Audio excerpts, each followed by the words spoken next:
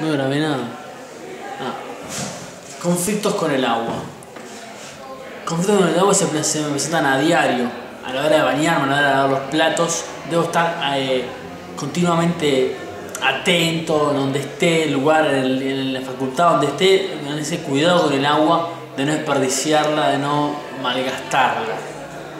Eh, de todas formas, el gasto que yo puedo hacer de agua, más allá de que sea un derroche, no es, eh, no es lo que nos está llevando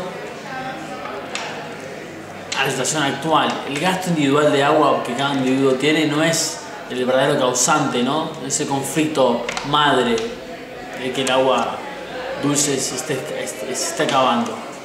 La cuestión está en las grandes multinacionales, grandes empresas que hacen grandes cultivos que hacen que malgastan el agua de forma horrorosa.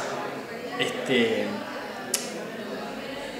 quieren hacer pensada de una forma que una ducha te bañas 5 minutos más en la ducha y estás haciendo, oh, qué terrible. Y ahí no está, ahí no está la cuestión, eso es cabeza y nos están metiendo.